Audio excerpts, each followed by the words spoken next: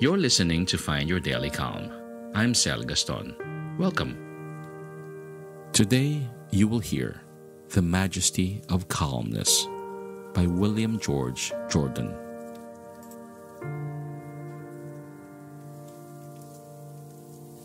The Majesty of Calmness. Calmness is the rarest quality in human life. It is the poise of a great nature, in harmony with itself and its ideals.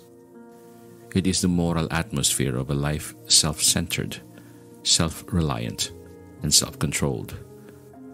Calmness is singleness of purpose, absolute confidence, and conscious power ready to be focused in an instant to meet any crisis.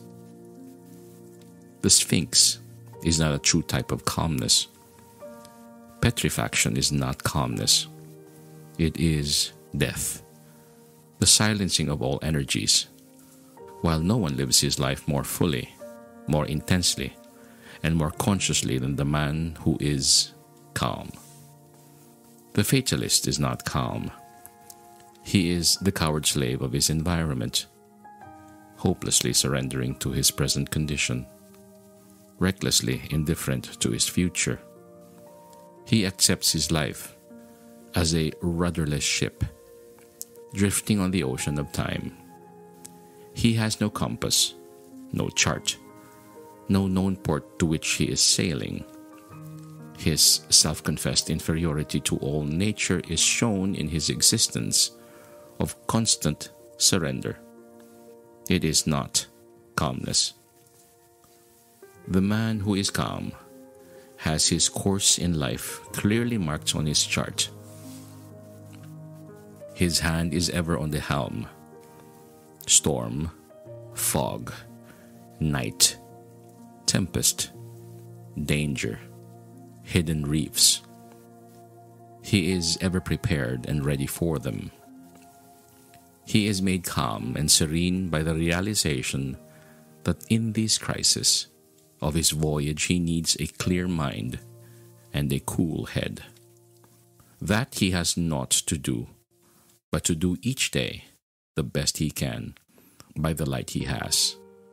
That he will never flinch nor falter for a moment. That though he may have to tack and leave his course for a time, he will never drift he will get back into the true channel. He will ever headed toward his harbor. When he will reach it, how he will reach it matters not to him. He rests in calmness, knowing he has done his best. If his best seem to be overthrown or overruled, then he must still bow his head in calmness. To no man is permitted to know the future of his life, the finality. God commits to man ever only new beginnings, new wisdom, and new days to use the best of his knowledge. Calmness comes ever from within. It is the peace and restfulness of the depths of our nature the fury of storm and of wind agitate only the surface of the sea. They can penetrate only two or three hundred feet. Below that is the calm, unruffled deep. To be ready for the great crisis of life, we must learn serenity in our daily living. Calmness is the crown of self control. When the worries and cares of the day fret you and begin to wear upon you, and you chafe under the friction, be calm. Stop. Rest for a moment and let calmness and peace assert themselves. If you let these irritating outside influences get the better of you, you are confessing your inferiority to them by permitting them to dominate you. Study the disturbing elements, each by itself, bring all the willpower of your nature to bear upon them. And you will find that they will, one by one, melt into nothingness, like vapors fading before the sun. The glow of calmness that will then pervade your mind, the tingling sensation of an inflow of new strength, may be to you the beginning of the revelation of the supreme calmness that is possible for you. Then, in some great hour of your life, when you stand face to face with some awful trial, when the structure of your ambition and life work crumbles in a moment, you will be brave. You can then fold your arms calmly. Look out undismayed and undaunted upon the ashes of your hope upon the wreck of what you have faithfully built.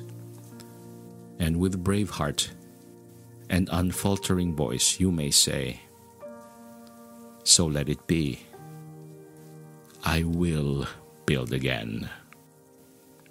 When the tongue of malice and slander, the persecution of inferiority, tempts you for just a moment to retaliate, when for an instant you forget yourself so far as to hunger for revenge. Be calm.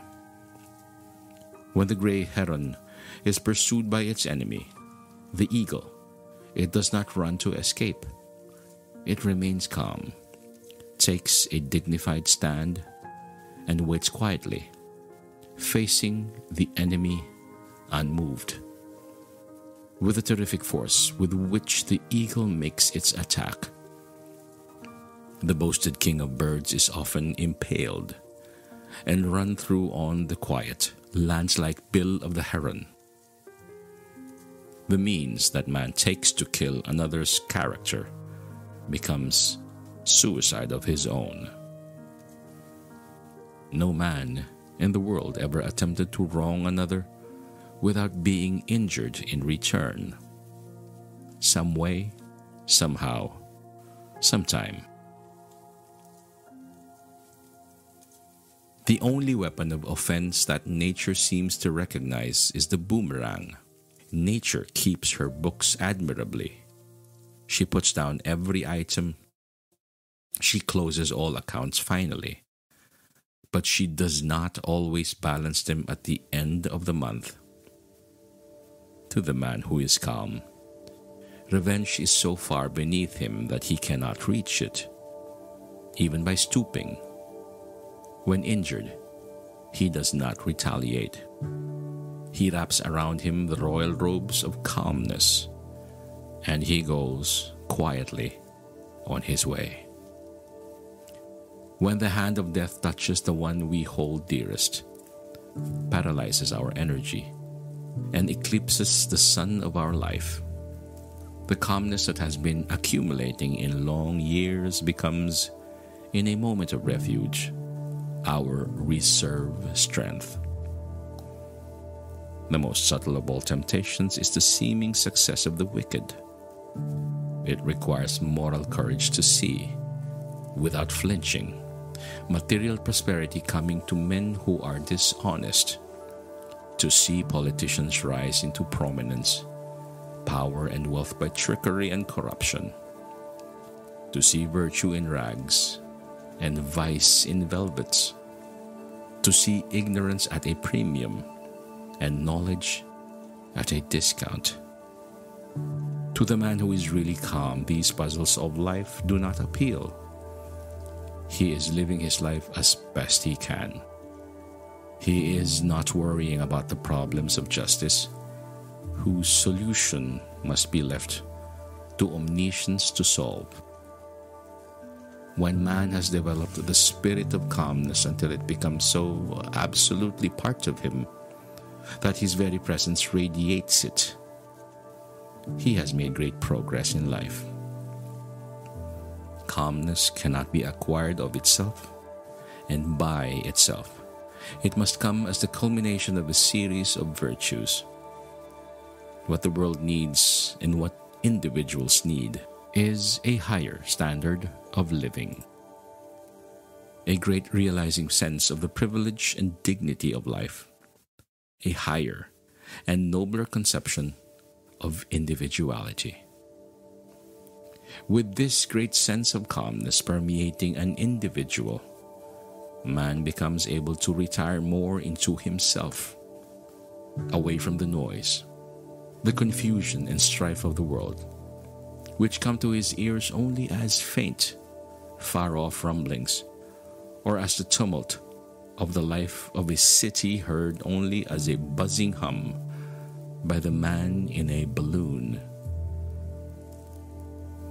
The man who is calm does not selfishly isolate himself from the world, for he is intensely interested in all that concerns the welfare of humanity.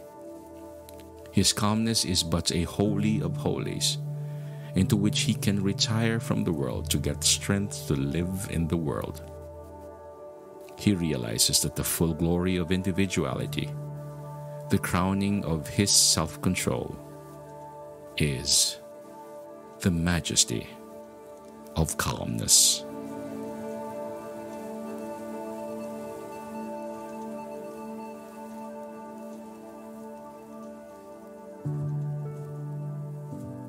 I hope you enjoyed listening to The Majesty of Calmness, beautifully written by William George Jordan. May you be well, may you be at ease, and may the majesty of calm peace be upon you.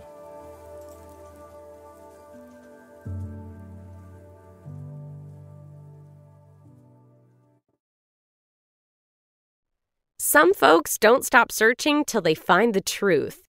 If you've got a detective's eye, June's Journey is the game for you. Play as June Parker in a gripping murder mystery as you find hidden objects to help solve her sister's death. You'll hunt for clues in hundreds of beautifully illustrated scenes set in the roaring 20s. New chapters are added weekly. Find your first clue by downloading June's Journey today. Available on Android and iOS mobile devices as well as on PC through Facebook Games. Wendy's 2 for $6 lets you mix and match some of our best items, like Dave Single with a 10 piece crispy nugs, medium strawberry lemonade with a spicy chicken sandwich, spicy chicken with a Dave Single, Dave Single with a strawberry lemonade, strawberry lemonade, strawberry lemonade, if you're into that. Chicken Sam, crispy nugs, crispy nugs, strawberry lemonade, Dave's, Dave's, nugs, nugs, Sam, Sam. Whew. Pick what you want at a price you want. Choose wisely. Choose Wendy's 2 for 6. For limited time, price and participation may vary at U.S. Wendy's on the card only, single item at regular price.